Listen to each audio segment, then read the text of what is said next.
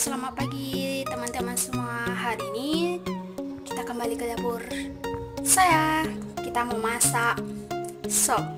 Nah, di sini ada bahan-bahannya.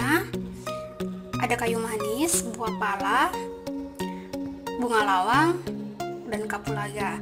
Dan di sini juga ada bawang goreng. Ada daun sop.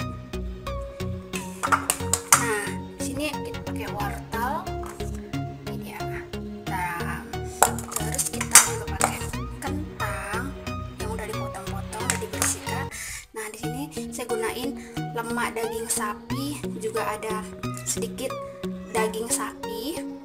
Oke, kemudian kita tuang air.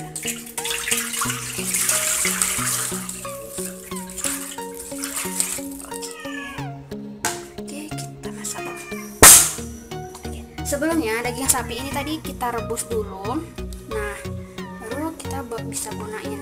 Oke, semua rempah-rempah seperti buah pala, kapulaga, kayu manis kita masukkan ke dalam air.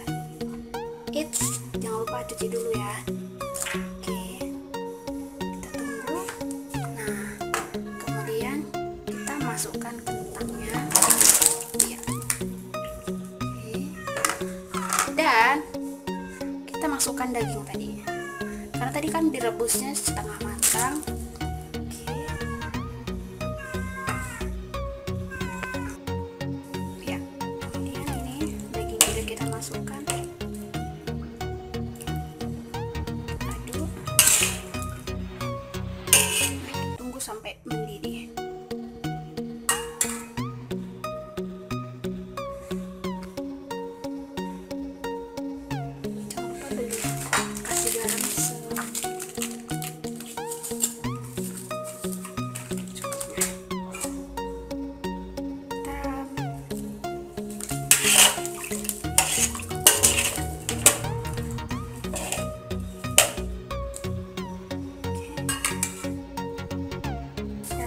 Sekarang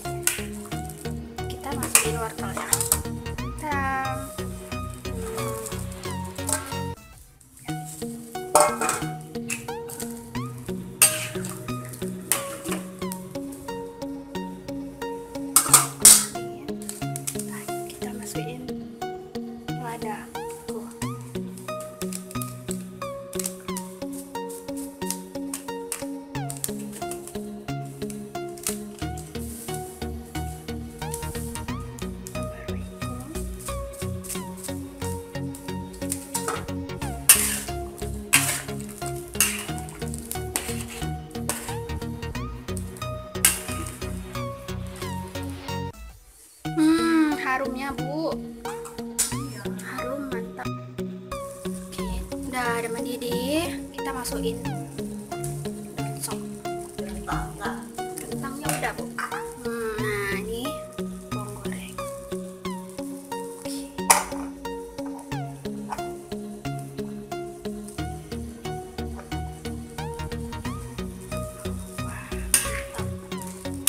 nah daging.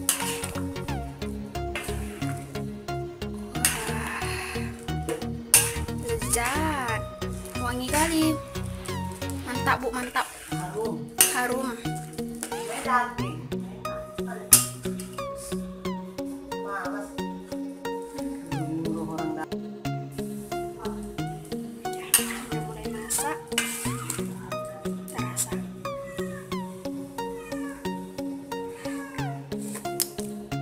Hmm seger